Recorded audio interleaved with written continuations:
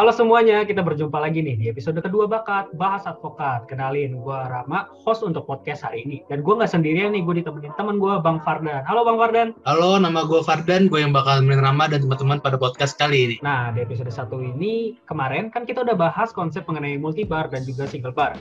Dan juga kelebihan dan kekurangannya di Indonesia. Nah, di episode hari ini kita akan menelusuri juga gimana sih bentuk organisasi advokat di luar negeri. Apakah sama dengan Indonesia atau ada bentuk lainnya nih? Untuk itu, teman-teman gue udah ngundang narasumber kita pada hari ini yaitu Bang Anggara sebagai salah satu dari anggota organisasi advokat KAI dan juga Mbak Nadia dari organisasi advokat uh, Pradi. Halo Bang Anggara dan Mbak Nadia, apa kabarnya? Halo, halo, baik, baik, alhamdulillah. Halo, baik. Halo, iya makasih ya Bang Arga, Mbak Nadia udah hadir di podcast. Makasih Bang, Mbak. Ini. Ya, uh, mungkin kita langsung aja masuk ke materinya nih. Uh, boleh nggak Mbak Nadia jelasin nih gimana sih uh, sistem organisasi advokat itu di negara-negara di luar sana Mbak? Apakah sama dengan Indonesia? Mungkin boleh tolong dijelaskan Mbak. Oke, okay, uh, mayoritas sebenarnya negara-negara di dunia ini tuh mengatur sistem organisasi organisasi itu single bar, baik negara-negara civil law atau negara-negara common law. Nah, uh, negara yang memiliki sistem yang sama kayak Indonesia, civil law, misalnya Belanda dan Jepang juga menggunakan sistem single bar. Hmm, menarik nih. Tadi Mbak sempat mention tentang Belanda. Nah, aku pengen uh, cari tahu lebih dalam lagi nih mengenai Belanda. Uh, mengingat kita kan sama-sama civil law dan juga hukum kita pro nggak uh, jauh-jauh beda dari Belanda. Mungkin boleh dijelasin lebih detail Mbak terkait Belanda? Oke, okay, boleh. Jadi uh, karena Belanda ini menganut single bar, dia ini punya satu wadah namanya Netherlands Order van Advocate yang dibuat berdasarkan Icon Advocate yang mulai berlaku sejak 1 Oktober 1952. Nah, uh, aku nyebut ini Nova biar lebih mudah aja nyebutnya. Nah, organisasi Nova ini tuh uh, merupakan organisasi independen yang dia tuh nggak dapat dana dari pemerintah dalam melaksanakan kegiatan organisasinya dan setiap advokat yang ada di Belanda itu wajib untuk terdaftar di Nova dan or sebagai organisasi uh, utama advokat di Belanda, dia ini melaksanakan menyelenggarakan pelatihan-pelatihan dan juga membuat uh, seperti peraturan profesi hukum untuk advokat yang ada di Belanda. Oke, mungkin selanjutnya setelah penjelasan dari Mbak, mungkin saya juga penasaran. Saya pernah dengar juga dengan istilah sistem federasi tidak selalu multibar. Mungkin Mbak tahu dan bisa menjelaskan hal tersebut. Oke, jadi sebenarnya sistem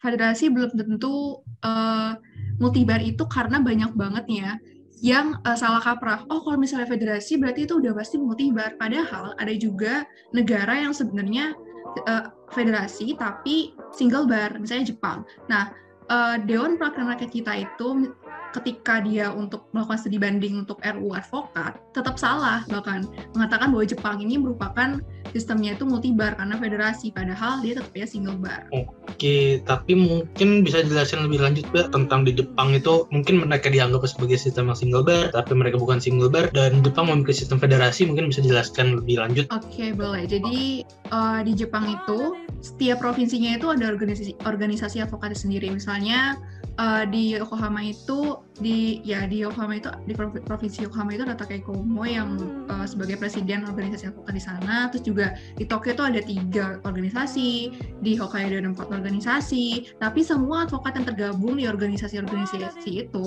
tetap wajib untuk tergabung dalam organisasi induk. Namanya itu Japan Federation of Bar Association atau JFBA nah JFBA ini tuh uh, kalau misalnya di uh, disebutkan tuh sebagai uh, organisasi induk dari uh, organisasi advokat yang ada di provinsi itu.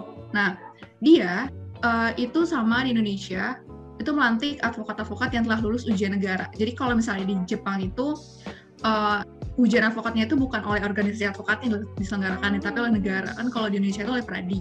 Tapi tetap aja pelantikannya oleh si JFDI ini. Oke, mungkin terima kasih untuk penjelasannya. Tapi mungkin saya lebih penasaran lagi, kalau tadi udah ngasih contoh di negara civil law, mungkin di negara common law itu mungkin bisa Mbak kasih tahu contohnya negara apa dan juga bagaimana sistem organisasi advokat di negara tersebut. Nah, pokoknya ada Amerika, itu dia negara common law yang multibar. Jadi seluruh negara-negara bagian itu punya otoritas masing-masing untuk menentukan dia itu mau pakai sistem organisasi advokat apa. Misalnya kayak California, dia itu single bar.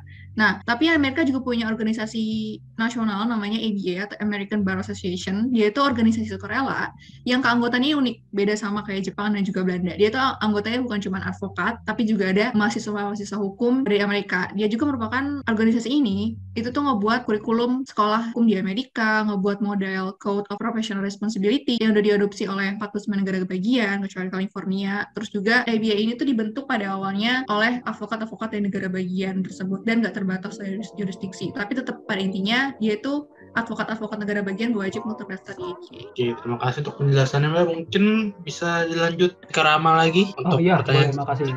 Iya, boleh, makasih Bang Fardan. Iya, jadi menarik ya Mbak Nadia ya. Jadi beda negara, beda bentuk gitu. Kayak di Jepang ada federasi single bar dan juga di Amerika itu ada multi bar. Nah, kalau aku pengen tahu nih, kalau di Indonesia sendiri itu bentuknya gimana sih? Kan ada yang bilang single bar, ada yang bilang multi bar, apalagi tuh kemarin kasus Hotman Paris, dia keluar dari Pradi, kan itu semakin menunjukkan bahwa Indonesia adalah multi bar. Nah, kalau menurut Bang Arga sendiri nih, bentuk organisasi advokat di Indonesia itu gimana sih, Bang? Baik, baik. Terima kasih Rama nih. Pertanyaannya bagus nih ya, yaitu mengenai sistem advokasi sendiri di negara tercinta kita, yaitu negara Indonesia. Nah, kalau misalkan ngelihat dari sistem advokasi sendiri, itu tuh kita melihat ke Undang-Undang Advokat, yaitu di dalam pasal 28, di mana Undang-Undang Advokat itu menuntut agar pengembangan model organisasi advokat di Indonesia itu bersifat tunggal atau single bar. Nah, dengan adanya UU ini, maka organisasi advokat terdahulu seperti IKADIN, AAI, IPHI, HAPI, dan lain-lain yang totalnya itu ada 8 organisasi menyatu menjadi satu organisasi, yaitu menjadi organisasi yang kita kenal sekarang itu sebagai Pradi, gitu. Oh, menarik ya Bang. Jadi dulu tuh ada 8 gitu, Yeah. terus dilebur gitu jadi satu organisasi. Benar, Namanya iya. Pradi gitu ya Bang ya. Nah, kalau eh, mengenai KAI sendiri itu Bang, boleh dijelasin nggak sih Bang, kok bisa ada gitu? Sejarahnya gimana sih? Nah, ini menarik nih. KAI itu sendiri sebenarnya timbul dikarenakan banyak sekali advokat-advokat yang memiliki pendapat berbeda, perselisihan-perselisihan, dan ketidakpuasan antara pengelola organisasi advokat pradi itu sendiri. Nah, karena tadi itu karena perbedaan-perbedaan serta perselisihan antar anggota, maka ada nih beberapa anggota yang memutuskan, ah gue keluar aja lah buat organisasi baru, namanya itu KAI ini atau Kongres Advokasi Indonesia tersebut. Oh gitu ya Bang ya. Kalau terjadi pemisahan Iya. itu Bang, eh, itu nanti berpotensi menimbulkan kebingungan hukum nggak sih Bang di antara undang-undang advokat nih? Kan nuntutnya Indonesia single bar, tapi para Hmm. advokatnya itu pengennya pengennya itu multi bar gitu Bang. Nah iya, waktu itu juga sempat ada kasus kan, ini kan jadi ke dualisme ya, dualisme sistem Hmm, organisasi betul. ya. Jadi Iya. itu eh, ada suatu saat di mana pengadilan tinggi itu nggak mau nih enggan buat nyumpahin advokat dari KAI gitu yang menyebabkan ribuan calon advokat baru tertahan menunggu sumpah sebelum bisa menjabat sebagai advokat. Nah karena hal tersebut akhirnya MK ini bertindak dong ngeluarin keputusan MK nomor 101 tahun 2009, 2009 dan putusan MK nomor 112 tahun 2014 di mana eh, MK itu mengarahkan agar pelaksanaan pasal 4 ayat 1 UU advokat dilakukan secara yang murni tanpa melihat organisasi, organisasi di belakang pemohon sumpah. Nah, berdasarkan tadi dari pertanyaan-pertanyaan Bang Rama serta saya yang tadi sudah jelaskan itu maka dapat suatu jawaban di mana di Indonesia sendiri itu secara tertulis dan diatur dalam Undang-Undang Advokat Indonesia masih menuntut sistem organisasi single bar.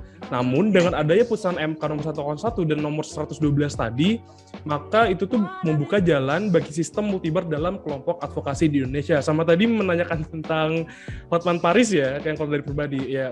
Eh, pendapat betul, saya sih mengenai hal itu sebenarnya itu juga hak bagi beliau untuk memilih ya dan toh apabila beliau keluar dari Pradi juga masih memiliki alasan tersendiri selama beliau masih mempunyai visi untuk menegakkan hukum di Indonesia maka saya juga tidak terlalu memberatkan keputusan beliau mengenai keluarnya beliau dari Pradi itu gitu Wah menarik, menarik, menarik, menarik. Banget ya. Eh, eh, iya bang, Fardan. Jadi eh, sebenarnya juga masih bingung gitu ya bang ya. Eh, Oke, Iya, mungkin kalau aku kita. tarik tarik kesimpulan gitu ya, secara garis besar eh, di luar negeri di luar negeri itu juga beda-beda ya. Misalkan di Jepang tadi federasi single bar dan itu disalahartikan oleh DPR kita kok bisa gitu. Betul. Dan kemudian di Amerika Serikat yang menganut multibar gitu ya, bang Fardan ya.